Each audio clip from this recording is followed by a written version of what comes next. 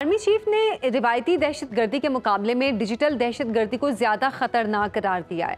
उनका कहना था कि मुल्क दुश्मन अनासर और गैर मुल्की इदारों के इश्तराक ने डिजिटल दहशत गर्दी को मजीद पेचीदा बना दिया है। वजाहत करेंगे आप आर्मी चीफ के इस बयान की? जी हाँ बहुत शुक्रिया। देखें कि डिजिटल टेररिज्म टेररिज्म बेसिकली जब पहले देखें टेरर क्या है? टेरर एक लेटिन वर्ड है जिसका मतलब है खौफ पैदा करना।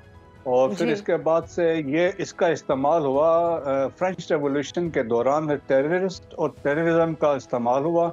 और अमेरिकन जो रिसर्च सेंटर है फॉर टेररिज्म उन्होंने डिफाइन ये किया कि अगर आप पॉलिटिकल ऑब्जेक्टिव्स हासिल करने के लिए इनोसेंट लोगों को टारगेट करते हैं तो वो टेररिज्म है।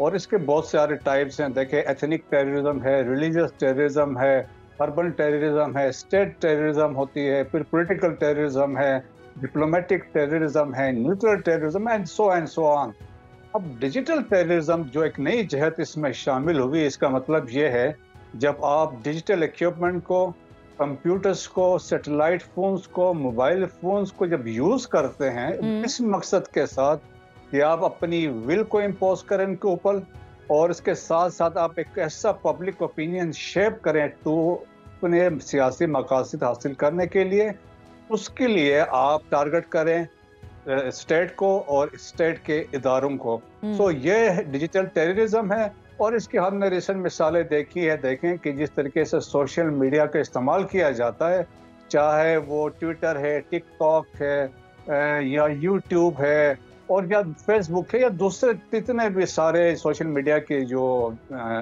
सिस्टम है उसको आप यूज़ करते हैं और उसमें एक आप नरेटिव डेवलप करते हैं और मोस्टली केसेस में ऐसा होता है इट इज़ बेसिकली हैंडलर्स जो होते हैं या आपके हॉस्टाइल एजेंसीज हैं वो आपको एक नैरेटिव देते हैं कि आपने इसको पेडल करना है आपने इसको फॉरवर्ड करना है। सो so, अकॉर्डिंगली वो टारगेट करते हैं। हमारे केस में it is Pakistan arm forces Pakistan army है पाकिस्तान आर्मी के इदारे हैं इनको टारगेट किया जाता है इनको मलाइन किया जाता है क्योंकि कुछ लोगों के दिल में बुग्स की वजह से है कुछ दुश्मन के कहने पे हैं कुछ सियासी वजूहत पे हम्म। ये एक नरेटिव इस्तेमाल किया जाता है जिसके लिए डिस इन्फॉर्मेशन है मिस इन्फॉर्मेशन है र्यूमर्स है और प्रोपिगंडा है जब आप देखें एक आपने ट्वीट की है या एक्स को इस्तेमाल किया है उसको जब लोग और स्टेट के खिलाफ है, फिर उसको लोग शेयर करते हैं रीट्वीट कर तो इसका मतलब है कि दिस इज़ डिजिटल टेररिज्म अब रिसेंट मिसाल आपको मैं देता हूँ यूनाइटेड किंगडम में जो राइट्स हुई तो पब्लिक के लिए गवर्नमेंट ने, उन्होंने अनाउंस किया, उन लोगों को भी अरेस्ट किया, जिन्होंने फेसबुक पे उनको शेयर किया था। या उसको उन्होंने दोबारा एक ने ट्वीट एक ने जब शेयर किया तो अगलों ने उसको दोबारा शेयर किया तो they said you are equally responsible for publishing that insight जो जो इंसाइटिंग किस्म की जो मटेरियल था। सो तो दुनिया तीन तीन साल की सजाएँ दी हैं। तो पाकिस्तान में अनफॉर्चुनेटली हमारे पास यहाँ पे अभी तक वो सजा और जजा उस सही मानों में हो नहीं सका। सही बिल्कुल ठीक है आपने। अच्छा गुजशत दिनों D G I S P R ने कहा कि बलोचिस्तान में फौज तो अपना काम कर रही है कुछ चीज़ें दूसरे स्टेक होल्डर्स के जिम्मे भी हैं। जिन पर काम होना चाहिए, जिनमें सर फहरिस्त क्रिमिनल जस्टिस सिस्टम की मजबूती है। जराइम और दहशत गर्दी के खिलाफ निज़ाम इंसाफ की मजबूती कैसे होगी? जी हाँ देखिए, ये भी एक बड़ा इंपॉर्टेंट है और यही इस तरह कल, जिस तरह कल भी चीफ ऑफ़ आर्मी स्टाफ ने आज़म इस्तेकाम की बात की है और ये जो पार्ट जो आप बात कर रहे हैं इट इज़ टोटली हम कहते हैं अजम इस्तेकाम का एक जुज है।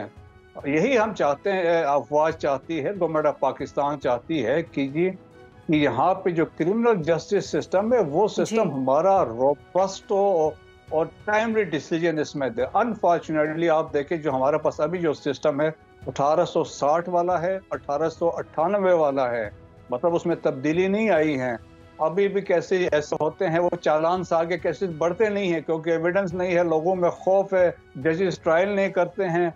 और फिर ऊपर से ये भी है कि कन्विक्शन रेट जो पाकिस्तान में है खासतौर पर अनफॉर्चुनेटली इट इज़ 1.7 परसेंट जबकि आप जापान में 100 परसेंट चाइना में 99 परसेंट यूरोपियन कंट्रीज़ में it is over above 90 percent but हमारा देख ले 1.7 परसेंट है। हम्म। फिर ऊपर से ये भी है देखें कि पास्ट में हमने देखा कि मैरियट बम्बिंग में जो लोग इन्वॉल्व थे उनको आर्मी कोर्ट ने सजा दी लेकिन सिविल कोर्ट ने उनको बेल आउट कर दिया। उसी तरह पिशावर हाई कोर्ट के भी ऐसे केसेस थे कि 200 के करीब टेररिस्ट को, जिनको आर्मी ने सजा दी थी एविडेंस को उनको छोड़ दिया। वो वापस जाके दोबारा दहशतगर्द तंजीमों में शामिल हो गए तो इसके लिए रिक्वायरमेंट है कि अमेंडमेंट्स होनी चाहिए और सिस्टम को हमें एड्रेस करना होगा कि सिस्टम देखें इनके एक फिर में this nexus between criminal mafia और जो टेररिस्ट हैं तो वो भी चीज़ें हमने एड्रेस करनी है। जब सज़ा और जजा सख्ती से होगी और तेज़ी से होगी तो मेरा ख्याल में ये चीज़ें एड्रेस हो सकती हैं। अब मिसाल अभी और एक मसला ये भी है कि खैबर पख्तूनख्वा एंड बलोचिस्तान ये दो सूबे हैं जो ज़्यादा टेरर अटैक से 93 percent of terror attacks in दो सूबों में हुए हैं पीछे लेकिन वहाँ पे टेरर कोर्ट्स की कमी है दोनों सूबों में और पेंडिंग केसेस जो हैं वो बहुत ज़्यादा हैं और जजेस की कमी है। और कोर्ट्स की भी कमी है जजेस की भी कमी है तो मेरे ख्याल में ये गवर्नमेंट को एड्रेस करना चाहिए। सो दैट्स वाई अज़म इसकाम का कंसेप्ट यही है कि हर एक ने अपना किरदार अपना रोल अदा करना है ताकि फौज अपना काम कंसंट्रेशन के साथ कर सके। अच्छा बलूचिस्तान के लोगों में महरूमी के बयानी की अगर हम बात करें तो इसमें यकीनन कोई हकीकत नहीं है ये दुश्मन कुतों की जानब से गढ़ा गया है। फौजी तर्जुमान ने अपने इस दावे में बहुत से फैक्ट्स भी पेश किए हैं। क्या आप उससे इतफाक करेंगे? जी हाँ बिल्कुल करूँगा और देखें, मैं तकरीबन मेरे खुद अपनी 12 साल की सर्विस है बलूचिस्तान की और मैं, मैंने बलूचिस्तान के तुल अर्स में ट्रैवल किया है और मैंने वहाँ हालात देखे हैं। अभी आप देखें, जब से पाकिस्तान बना है, जितने चीफ मिनिस्टर थे, सारे बलोच थे।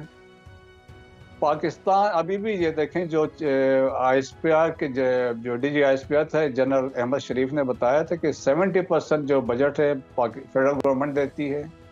रॉयल्टी का दो सौ पैंसठ बिलियन जो पैसा है वो इनको जाता है।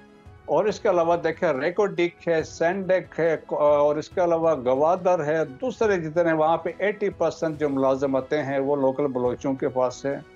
और इसके अलावा देखें कच्ची कैनाल आ रही है जिससे अभी millions of acres of land वहाँ पे वहाँ पे सैराब होगी। हम्म। और इसके अलावा प्रोसेसिंग प्लाट्स वहाँ पे डेट्स के लग रहे हैं। और सोलराइज ट्यूबवेल्स वहाँ पे लग रहे हैं। एजुकेशन को एड्रेस किया जा रहा है। हेल्थ फैसिलिटीज़ को एड्रेस किया जा रहा है।